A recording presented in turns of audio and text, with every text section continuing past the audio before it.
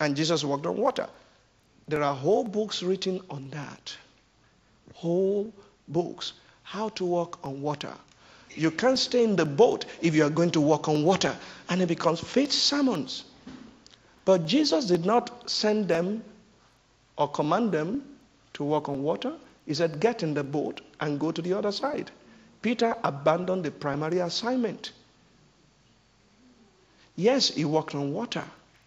But was that what he was given to do? Those who stayed in the boat and were around the boat were the ones who brought worship to him, if you read the whole story, when he entered the boat again. We can be distracted by signs, by wonders, without realizing these are the things that follow them that believe. They, begin to, they become the things that we follow. Jesus said, Follow me. Who? Me. Who is the me? Jesus.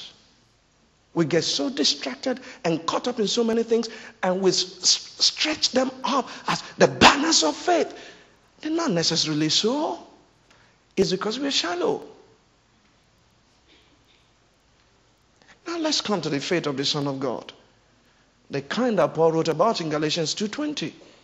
The kind that was once delivered unto the saints. The ones that would not get me distracted because it's entirely focused on God. Paul said in Galatians 2:20, I'm crucified with Christ, nevertheless I live.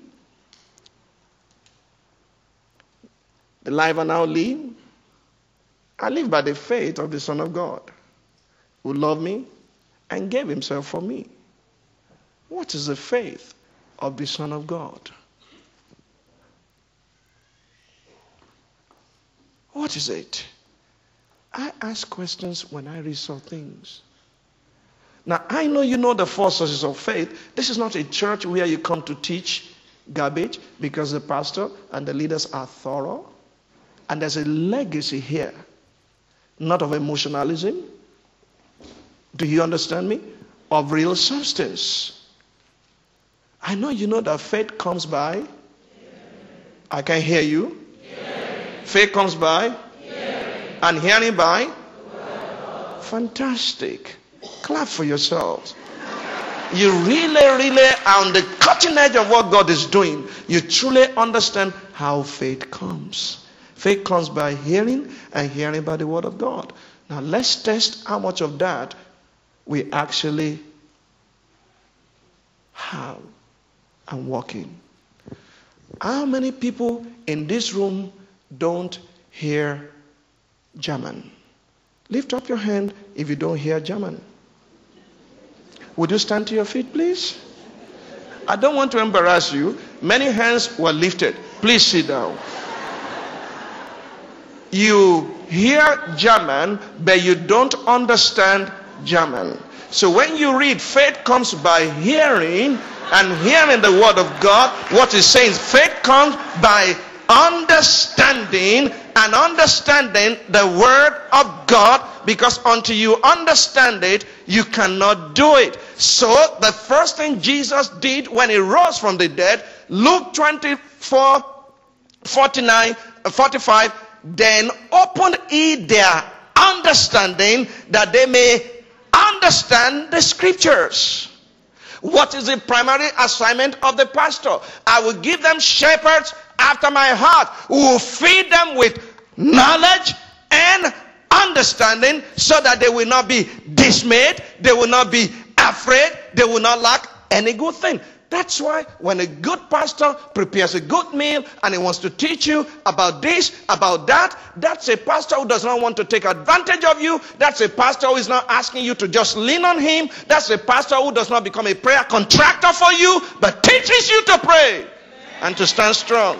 Do you understand me? Faith comes by hearing, means understanding. You do err, not understanding the scriptures, not the power of God.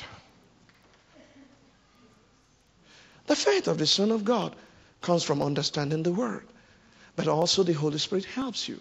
That's why you find three dimensions of faith linked to one Holy Spirit. Number one, there is faith as a gift of the Spirit. That's a supernatural impartation of faith to bring you to a level where God is so that you can bring down what he has offered to you. How shall this be? I know not a man. There was no faith in Mary to conceive. But she, the angel said to her, The Holy Spirit will come upon you. The power of the Most High will overshadow you. In that instant, Mary knew, oh, ah, oh, it's something God does. Be it then unto me according to your word. That was the instance she conceived. So you have faith as a gift of the Spirit, but you have a lifestyle faith as a fruit. It's become part of your character to trust God. Why don't people trust God? Because they don't know Him, they only believe Him. And if you only believe, the devils also believe and tremble.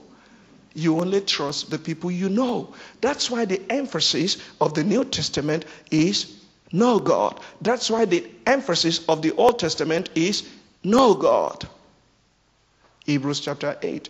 It's crucial to establish that here as I close. How do I access this faith of the Son of God? One, it comes when my understanding is open. So that this does not become just a story to me. It does not become just an, a, a, a, a, bulletin to me and, and, and, and laws and, and, and, and, and, and, and, and, and just uh, methods and formulas. No, it comes alive. The Spirit and the Word come together on the inside of me because the Spirit opens up my spirit. There's a spirit in man, but the inspiration of God gives them understanding. Job 32 8. When my understanding is open, the word comes alive. Do you realize, my sister, my brother, that the end result of being filled with the Holy Spirit is the end result of being filled with the Word of God? Be not filled with wine where it, it is excess, but be filled with the Holy Spirit. What's the byproduct of that? Speaking to yourselves in psalms and hymns and spiritual songs and making melody where, where it matters in your heart. That's when you're filled with the Holy Spirit. How about being filled with the Word? Let the Word of Christ dwell in you richly. Speaking to yourselves in psalms and hymns and spiritual song. And whatsoever you do in word or deed, do them unto the Lord. So you see that you cannot take the spirit without the word, or the word without the spirit. It's a combination of the two that brings life. The word I speak unto you, their spirit and their life. But if we don't understand, we will just be picking and choosing and looking for what is not lost. Hebrews chapter 8. The New Testament or the New Covenant. What's it all about? Hebrews chapter number 8, verse 7.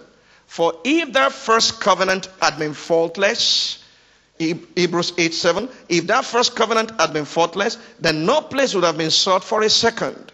Because finding fault with them, he says, Behold, the days are coming, says the Lord, when I will make a new covenant with the house of Israel and with the house of Judah. What is this new covenant, Lord? Not according to the covenant that I made with their fathers in the day when I took them by the hand to lead them out of the land of Egypt, because they did not continue in my covenant. It was not that that covenant was terribly bad, it was that they did not know how to continue in it, and they did not have the strength or the grace, neither did they mix it with faith.